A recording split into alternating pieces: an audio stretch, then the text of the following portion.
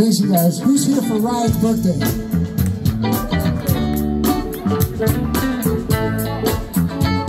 If not, you're in the wrong place.